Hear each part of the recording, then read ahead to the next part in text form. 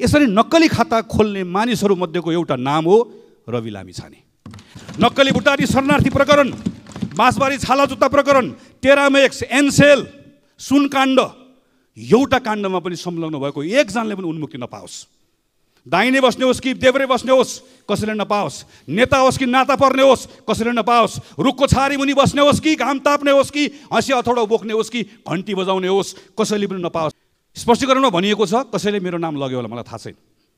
सहकारीको सदस्य होइन कसैले मेरो नाम लग्यो होला। यदि यस्तै मान्ने हो भने सम्माननीय सभामुख महोदय सयजनै मानिसहरूको मैले रिपोर्ट पढेँ। सयजनै मानिसहरूले लगेको एक अरब रुपियाँ लगेको प्रकृति ठ्याक्कै यही हो। कसैको धितो छैन कोही सहकारीको सदस्य होइन कुनै प्रक्रिया पुऱ्याइएको छैन। एक अरब झ्वाम यसरी छोडिदिने हो भने एकजनालाई मात्र छोडेर हुँदैन अब। सबैलाई छोड्नुपर्छ। एउटा सहकारीको मात्र छोडेर हुँदैन सबै सहकारीकोलाई छोड्नुपर्छ। जतिखेर यसको सञ्चालक श्री रवि लामी छाने पनि हुनुहुन्थ्यो।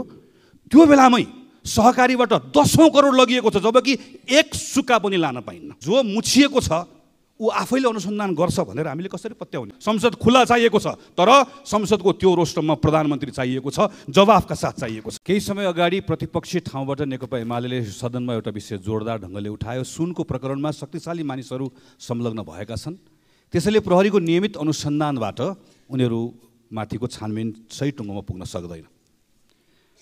शक्तिशाली नेताहरूलाई लुकाउने प्रपञ्च गरिएको रहेछ भन्ने तत्कालीन प्रतिपक्षको आशंका सही साबित भयो। आयोगले प्रतिवेदन बुझाएको छ। भर्खर हामीले समाचार सुन्यौँ कृष्णबहादुर महरा पक्राउ पर्नुभयो। सरकारलाई धन्यवाद छ। यो आयोगले किटान गरेको एउटा मान्छे पनि छुट्नुहुन्न। यसमा हामीलाई हाम्रो सरकारलाई पूर्ण साथ रहन्छ। तलमाथि भयो भने सरकारलाई प्रश्न गर्ने हाम्रो भूमिका छ। तर यसले एउटा सँगसँगै हामीलाई एउटा कुरा सिकाएको छ। त्यो बेलामा नेपाल कम्युनिस्ट पार्टी एमाले प्रतिपक्षको ठाउँबाट यो विषयलाई जोरदार ढङ्गले नउठाएको भए आयोग नबन्ने रहेछ। आयोग नबनेको भए सुनकाण्ड फासफुस हुने रहेछ। आज प्रतिपक्षको ठाउँमा हामीहरू छौँ। र यो प्रतिपक्षको ठाउँबाट आज यस्तै गरिकन अर्को एउटा विषय नउठाउने हो भने अर्को एउटा काण्ड फासफुस हुने खतरा देखिएको छ। पशुपतिको अगाडिपट्टि चिया पसल गरेर बस्छन् हरिकृष्ण डङ्गोल मेरो निर्वाचन क्षेत्रको मतदाता हुन्। गएको केही महिना लगातार मेरो घरमा आए सम्मानित सभाको महोदय। अक्षता भन्ने बौद्धको सहकारीमा साठी लाख रुपियाँ पैसा राखेका रहेछन्। यो सहकारी डुब्दैछ भन्ने थाहा पाइसकेपछि उनले मलाई बिन्ती गरे। मेरो कर्तव्य थियो मैले धेरै पछ्याएँ। बल्ल बल्ल त्यो सहकारी सञ्चालकसँग मेरो फोनमा सम्पर्क भयो। जग्गामा लगानी गरेको छु दिन्छु भन्यो। अहिले टाप कस्यो फरार छ। मेरो घरको ठिक अगाडि लालबाबु राउत भन्ने रौतडको एकजना सानो मुसलमानको परिवार छ। सपना लज हुने चलाएर बसेका छन्। जीवी राईको स्वर्णलक्ष्मी सहकारीमा नब्बे लाख रुपियाँ जम्मा गरेका।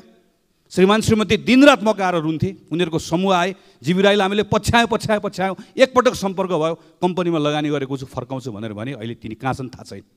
यो प्रतिनिधिमूलक दुईवटा पात्रको मात्र कुरा होइन।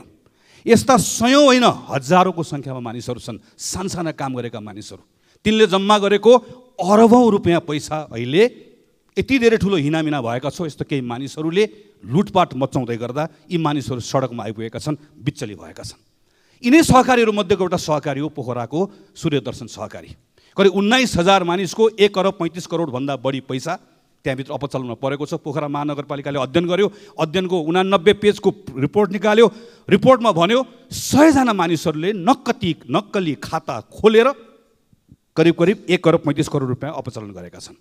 त्यो रिपोर्टको अठहत्तरौँ पृष्ठमा के भन्छ भने यसरी नक्कली खाता खोल्ने मानिसहरूमध्येको एउटा नाम हो रवि लामी छाने माननीय गृहमन्त्री रवि लामी छाने माननीय हुनुहुन्छ। भोलि प्रधानमन्त्री बन्नुहोला। शुभकामना छ बन्न पनि सक्नुहुन्छ। अलग विषय तर रवि लामी छाने एक करोड रुपियाँ लिनुभएको छ सहकारीको सदस्य हुनुहुन्न। स हाम्रो का कानुनको दफा पचासले भन्छ यो गैर कानुनी छ। मैले उहाँको स्पष्टीकरण सुने तिन मिनट बिस सेकेन्डको थियो। मैले राम्रोसँग सुने मैले पढेँ पनि। स्पष्टीकरणमा भनिएको छ कसैले मेरो नाम लग्यो होला मलाई थाहा छैन। सहकारीको सदस्य होइन कसैले मेरो नाम लग्यो होला। यदि यस्तै मान्ने हो भने सम्माननीय सभामुख महोदय सयजनै मानिसहरूको मैले रिपोर्ट पढेँ। सयजनै मानिसहरूले लगेको एक अरब रुपियाँ लगेको प्रकृति ठ्याक्कै यही हो। कसैको धितो छैन कोही सहकारीको सदस्य होइन कुनै प्रक्रिया पुऱ्याइएको छैन एक अरब झ्वाम यसरी छोडिदिने हो भने एकजनालाई मात्र छोडेर हुँदैन अब सबैलाई छोड्नुपर्छ। एउटा सहकारीको मात्र छोडेर हुँदैन सबै सहकारीकोलाई छोड्नुपर्छ। सरकार यो गर्न तयार हो? मेरो प्रधानमन्त्रीले यो प्रश्न छ। मेरो दोस्रो प्रश्न एउटा ग्लोबल गोर्खा मिडिया नेटवर्क भन्ने छ। यसले पचासौँ करोड रुपियाँ लिएर गएको छ। सूर्यदर्शन सहकारी सुप्रिम सहकारी यसै गरिकन यो सहारा सहकारीबाट। हाम्रो कानुनले भन्छ दफा तिसले नाफा कमाउने कम्पनीले लान पाउँदैन गैर कानुनी भइहाल्यो। यो कम्पनी सञ्चालन गर्ने मान्छेलाई हाम्रो हाम्रो एक सय बाइसले पनि भन्छ फौजदारी संहिताले पनि भन्छ अपराध भइहाल्यो। यसले कति लगेको छ? पचासौँ करोड लिएर गएको छ। यो कम्पनीको सेयर होल्डर को जिबी राई रवि लामिछाने। मैले यहाँ पनि रवि लामिछानेको स्पष्टीकरण सुने। यो एघार मिनट त्रिसठी सेक एघार मिनट त्रिपन्न सेकेन्डको थियो। स्पष्टीकरण सुने। स्पष्टीकरण सुनिसके पछाडि मेरा तिनवटा प्रश्नहरू रहे जो म प्रधानमन्त्रीलाई सोध्छु। अठहत्तर वैशाखदेखि उनासी ज्येष्ठसम्म जतिखेर यसको सञ्चालक श्री रवि लामिछाने पनि हुनुहुन्थ्यो त्यो बेलामै सहकारीबाट दसौँ करोड लगिएको छ जबकि एक सुक्का पनि लान पाइन्न। यो कम्पनी अहिले डुबिसक्यो। स्पष्टीकरणमा भनिएको छ कि मैले पैसा हालेको पनि छैन मैले पैसा फिर्ता लिएर गएको पनि छैन। बुटोलको सुप्रिम सहकारीबाट एक करोड रुपियाँ लिएर गएको छ यो पनि गैर कानुनी छ।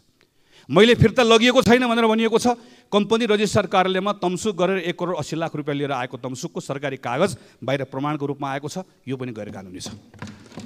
ग्यालेक्सी जस्तो कम्पनीले पैसा लिएर गएको पैसा छोडिदिउँ त भइहाल्यो ठुलो मान्छे हो छोडिदिउँ भनेर भन्ने हो भने सम्मानित सभाको महोदय करोड होइन अरब होइन खरब रुपियाँ छोड्नुपर्छ। किनकि प्रधानमन्त्रीले अस्ति रोस्टरमा उभिएर बोल्नुभएको कार्यदलको रिपोर्टले नै के भन्छ भने यस्तै कम्पनीहरूमा गएर अरबौँ रुपियाँ पार्क भयो। यो कम्पनीहरूबाट पैसा जफत नगरिकन यस्ता मानिसहरूको पैसा फिर्ता गर्न सकिन्न। यो अरबौँ रुपियाँ छ। हजारौँ मानिसहरूको कुरा हो। कुनै एउटा व्यक्तिको कुरा होइन सम्मानित सभाको महोदय। यो अनुसन्धानको विषय बन्छ कि बन्दैन? हाम्रो प्रधानमन्त्रीलाई प्रश्न यही हो।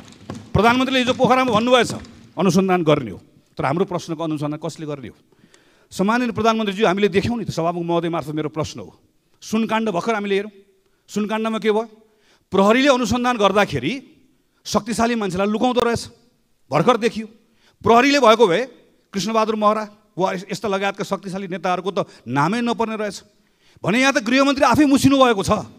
यसको अनुसन्धान कसरी हुन्छ यसको विश्वास हामीले कसरी गर्ने हो? सम्माननीय सभाको मध्ये मैले सकाएँ।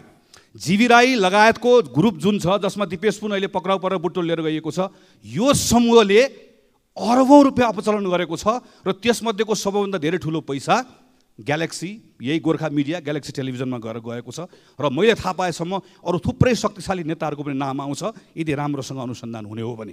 त्यसैले अनुसन्धान अहिले नियमित ढङ्गले अहिलेको प्रहरी प्रशासनले यसरी गर्न सक्छ भन्ने कुरा हामीले कसरी पत्याउने? त्यसैले हाम्रो यति नै मात्रै माग। सहकारीमा जसले ठगी गरेको छ फेयर ढङ्गले अनुसन्धान होस् कुनै एउटा प्रमाण नाश नहोस् एउटा पनि प्रमाण नष्ट नहोस्। अहिले प्रमाणहरू छ प्रहरीसँगै छ। प्रहरीसँगै छ पीडितहरूले जम्मा गरेर प्रमाण दिएका छन्। एउटा पनि प्रमाण नाश नष्ट नहोस्।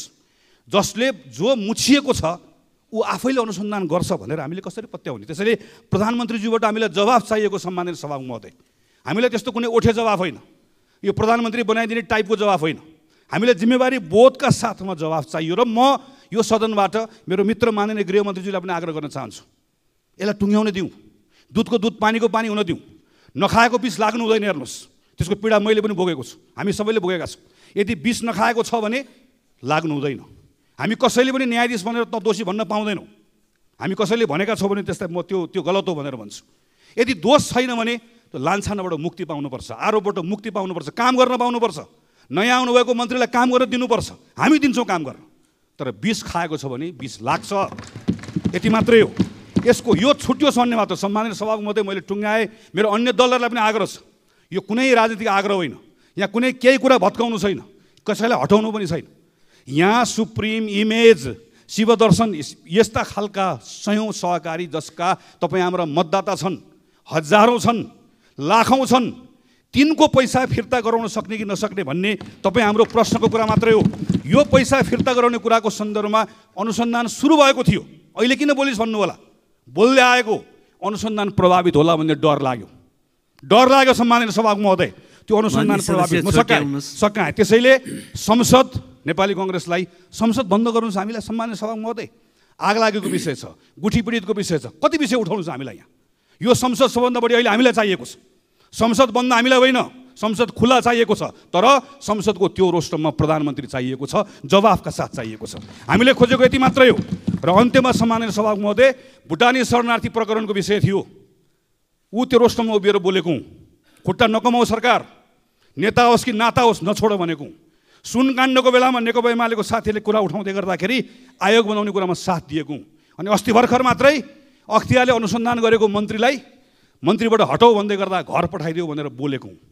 तर यो बोल्दै गर्दा सत्ता पक्षमा थिएँ म। सत्ता पक्षमा थिएँ। सिङ्गो सत्ता पक्ष उभियो कि उभिने हेरिनँ मैले। आज म विश्वास गर्छु मैले कुरा टुङ्गाइसकेपछि सत्ता पक्षबाट कोही उठ्नुहुन्छ र बोल्नुहुन्छ र भन्नुहुन्छ। नक्कली भुटानी शरणार्थी प्रकरण बाँसबारी छाला जुत्ता प्रकरण टेरामेक्स एनसेल सुनकाण्ड एउटा काण्डमा पनि संलग्न भएको एकजनाले पनि उन्मुक्ति नपाओस्। दाहिने बस्ने होस् कि देब्रे बस्ने होस् कसैले नपाओस्। नेता होस् कि नाता पर्ने होस् कसैले नपाओस्। रुखको छारी मुनि बस्ने होस् कि घाम ताप्ने होस् कि हँसी हथौडा बोक्ने होस् कि घन्टी बजाउने होस् कसैले पनि नपाओस् भन्ने हिम्मत हामी राख्छौँ कि राख्दैनौँ। अनि यी काण्डहरूको कुराकानी गर्दै गर्दा सहकारी काण्डमा पनि शक्तिशाली होस् लोकप्रिय होस् नयाँ होस् तर गल्ती गरेको रहेछ भने अपराधबाट मुक्ति नपाओस्। यो यति भन्ने हिम्मत हामी राख्छौँ कि राख्दैनौँ। यो सदनलाई प्रश्न पनि हो यो। यो सबैलाई प्रश्न पनि हो यो। कुनै एउटा पक्षको कुरा होइन। सिङ्गो सदनको विवेकमाथिको प्रश्न पनि हो यो। सम्माननीय सभाको महोदय त्यसैले म नेपाली कङ्ग्रेसको तर्फबाट आग्रह गर्न चाहन्छु यो विषय गम्भीरतापूर्वक उठाएका छौँ। हामी यसको जवाफ सम्माननीय प्रधानमन्त्रीजीबाट चाहन्छौँ। सम्माननीय सभाको महोदयलाई पनि मेरो अनुरोध छ यो प्रश्नलाई यतिकै मर्न नदिउँ। र एउटा विश्वास चाहिएको छ हामीलाई। यसको अनुसन्धान फियर हुन्छ भन्ने कुराको विश्वास चाहिएको छ। अनुसन्धान फियर हुन्छ भन्ने कुराको हामीलाई विश्वास प्रधानमन्त्रीले कसरी दिलाउनुहुन्छ? हामी त्यो सुन्न चाहन्छौँ। हामी कहीँ कतै कुनै बखडा झिक्न चाहँदैनौँ। हामी कहीँ कतै सरकारलाई अप्ठ्यारो पार्न चाहँदैनौँ। हामी कहीँ कतै सदनलाई अप्ठ्यारो पार्न चाहँदैनौँ। सदन चल्ने मात्र होइन पहिलाभन्दा अझ दुई गुणा चलोस् चाँडो चाँडो कानुन बनोस् हामी साथ दिन चाहन्छौँ। हामी सँगै हिँड्न चाहन्छौँ। तर हामीले उठाएको यो प्रश्न के यो नाजायज छ। के यो प्रश्न? नेपाली कङ्ग्रेसले उठाएको प्रश्न के? हाम्रा निजी प्रश्न हुन्। ती सडकमा बसेका हजारौँ सहकारी पीडितहरू तिनले पैसा फिर्ता पाउनु पर्दैन। तिनको पैसा फिर्ता पाउने कुराको ग्यारेन्टी होस्। धन्यवाद। जय नमस्कार। जय नेपाल।